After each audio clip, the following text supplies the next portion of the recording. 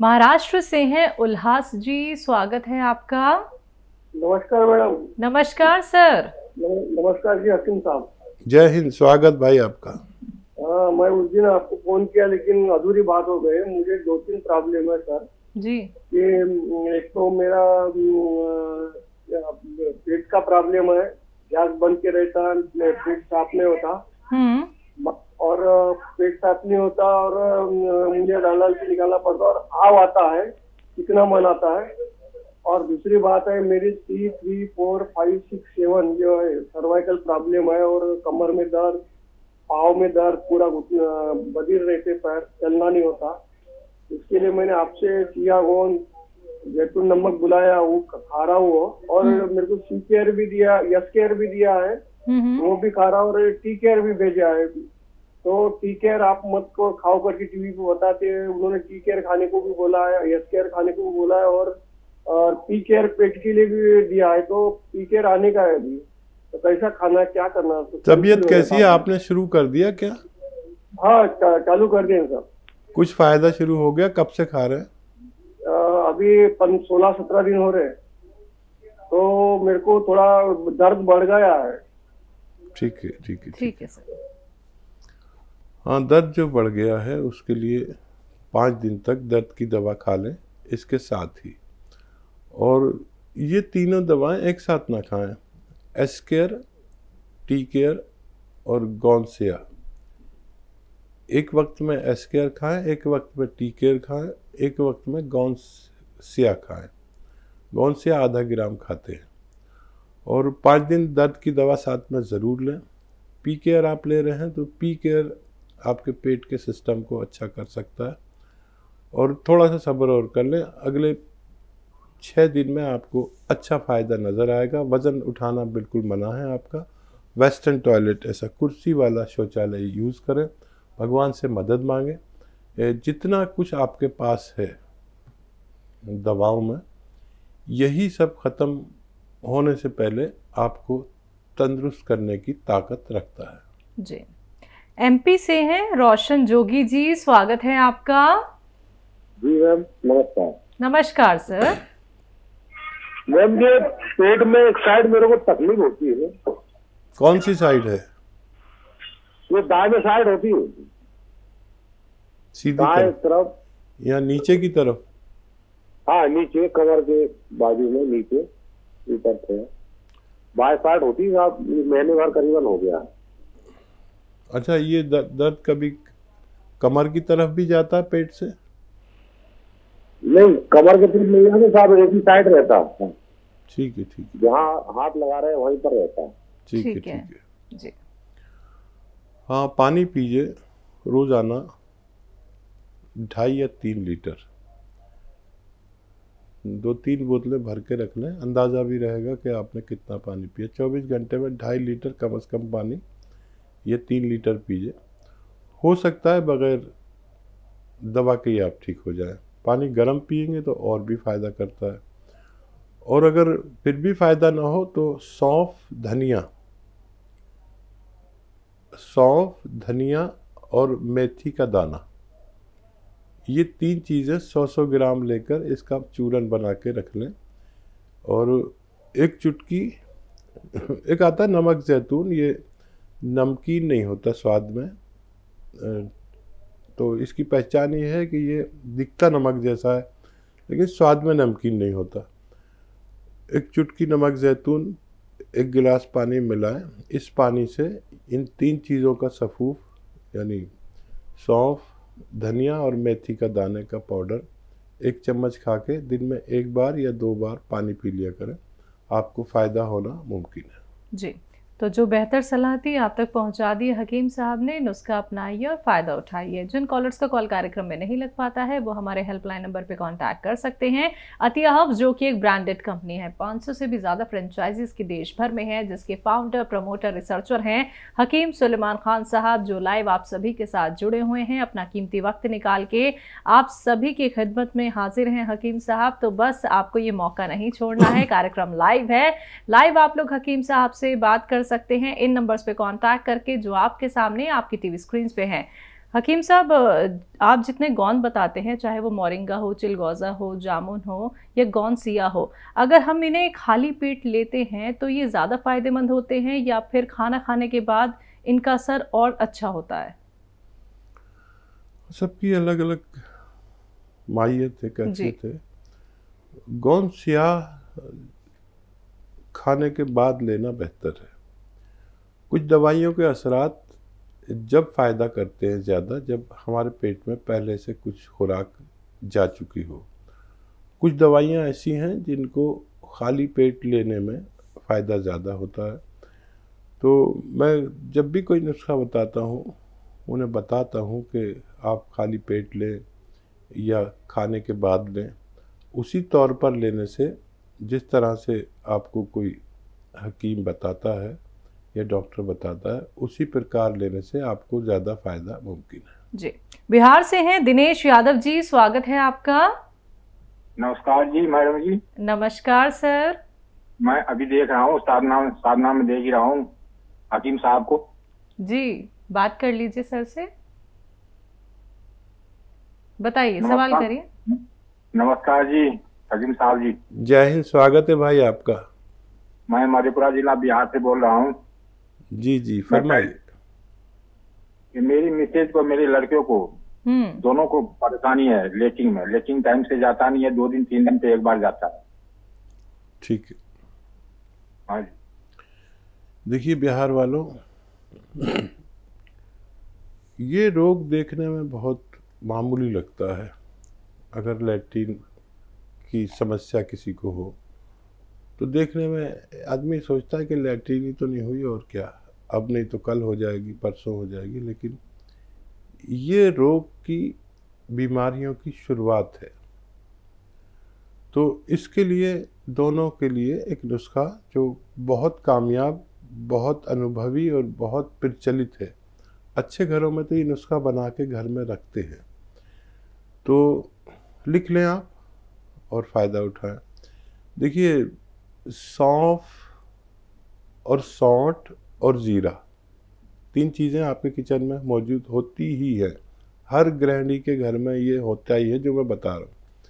सौंफ, सौंठ और ज़ीरा, अजवाइन, धनिया और मेथी का दाना, ये किचन में मिलते ही है। तो ये छह चीज़ें लीजिए। एक बार और बोल देता हूँ, कभी आप लिखने से रह गए हों।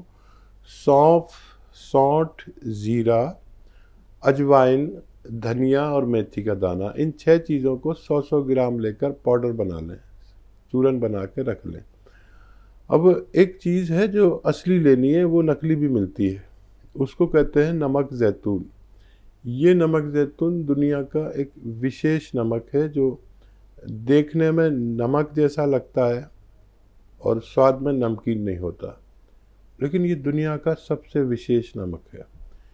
एक चुटकी ये लें, ये नमक जैतून भी आप ले लें, सौ ग्राम अलग रखें, मिलाएँ नहीं। और एक चुटकी में जितना आए, एक या दो गिलास पानी मिलाकर, ये छह चीज़ों का चूरन एक चम्मच खाकर पानी पी लें। देखिए, ये नुस्खा आपके पूरे सिस्टम को अच्छा करता है पेट के। अगर कब्ज़ है तो उसको तोड़ देता है। अगर वरम है, स्वेलिंग हो जाती है तो उसको अच्छा करता है। अगर लीवर सही काम नहीं कर रहा, उसकी वजह से ये तकलीफ़ है तो उसको दुरुस्त करता है। अगर किडनी में इन्फेक्शन है या पेट में इन्फेक्शन है तो ये उसको भी ठीक करता है। फिर आपका हाजमा, एसिडिटी, कब्ज़, बवासीर, इन सब रोगों को एक साथ आपसे दूर करता है। ये दुनिया का एक अच्छा नुस्खा कहलाता है। ज़रूर लिया करें और इसे सेहतमंद लोग भी ले सकते हैं। जी।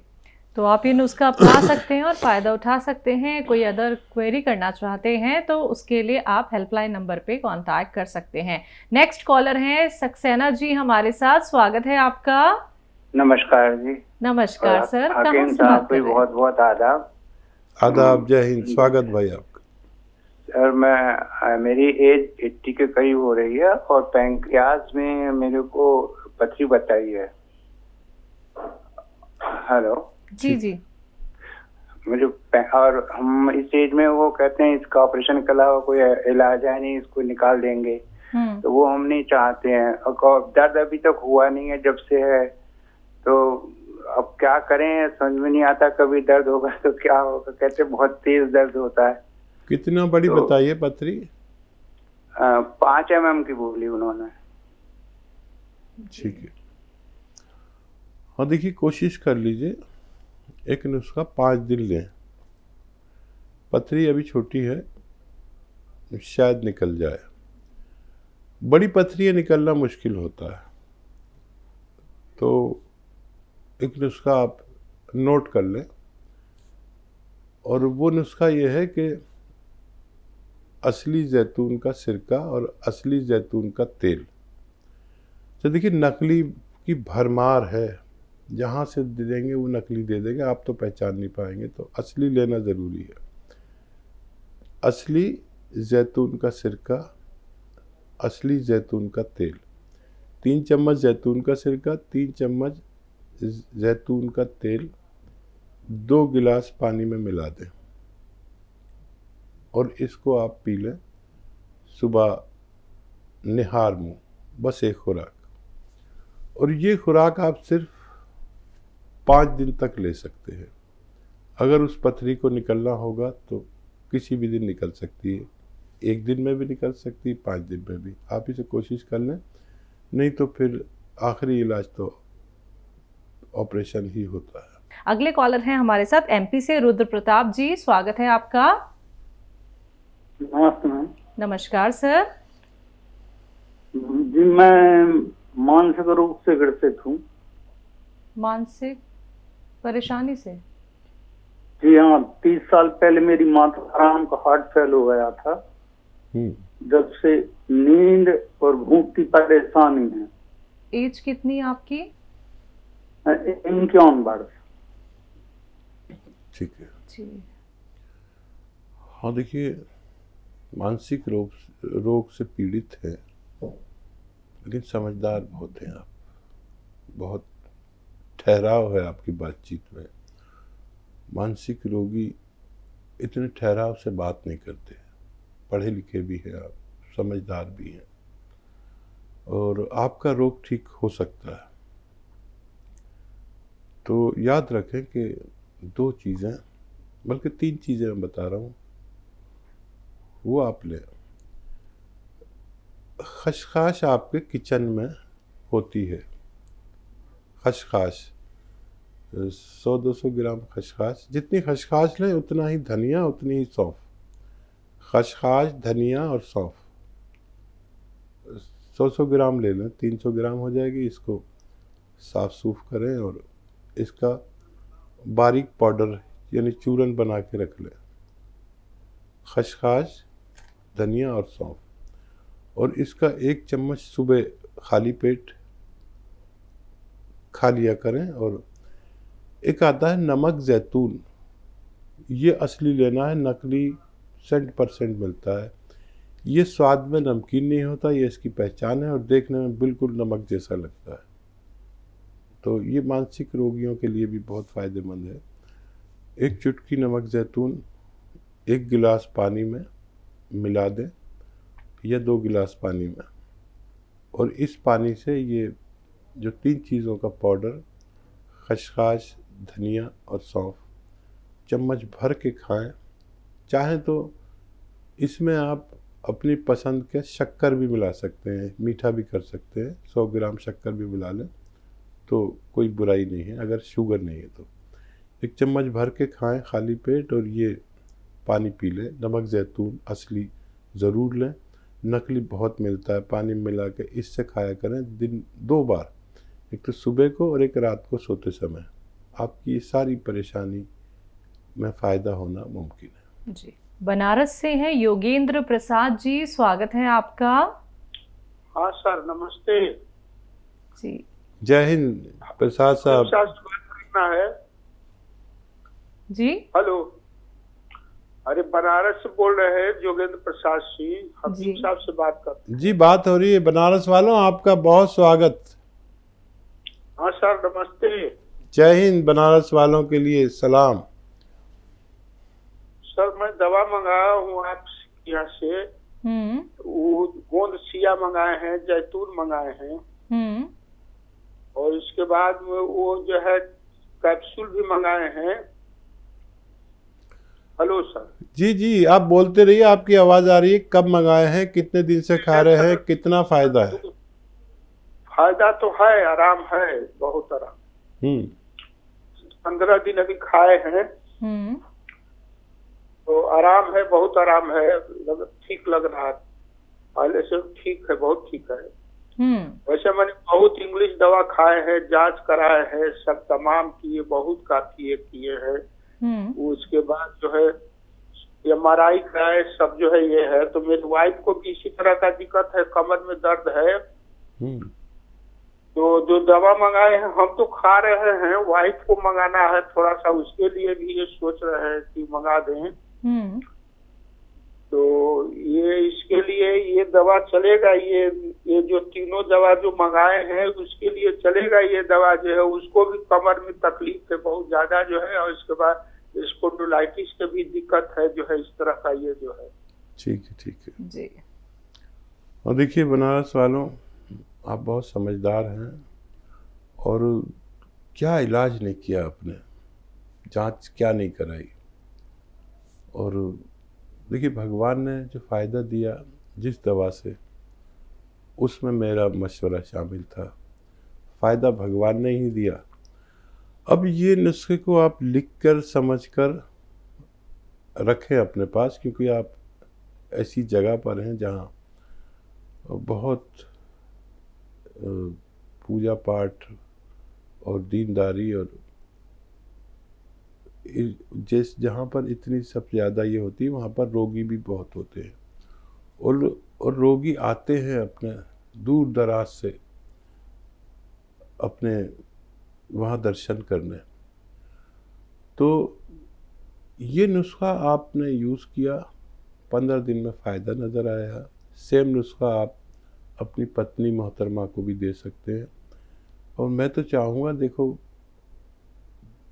इतनी ज़िम्मेदारी संभाल लें आप बनारस की कि बनारस में कोई इन रोगों से पीड़ित आदमी ना हो। जहाँ तक भी पहुँचा सकते हैं, इन नुस्खों को पहुँचा दीजिए।